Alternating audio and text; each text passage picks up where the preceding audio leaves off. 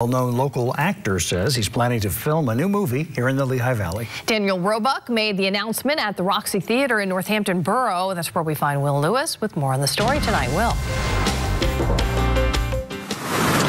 And Wendy and Rob Roebuck says he is thrilled to be shooting his second movie here in the Lehigh Valley. He says this is going to be a redemption story and feature people and places in the area. Fans couldn't wait to greet Daniel Roebuck outside the Roxy Theater in Northampton Borough and hear the big news. The Roxy Theater has always been good to uh, our productions. We've played Getting Grace here a number of times. Thank you so much. Roebuck telling a near packed house that this movie will have some of everything, and it's called The Hail Mary.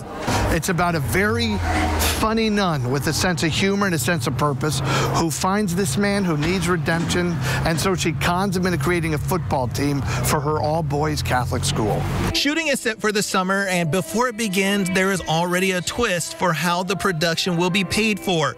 Roebuck and his wife are part of a team that started a not for profit called A Channel of Peace. The point of A Channel of Peace is we want to make faithful family entertainment entertainment, movies that the family could watch together that uh, tells a story about uh, redemption or hope or change or love through a prism of a higher power.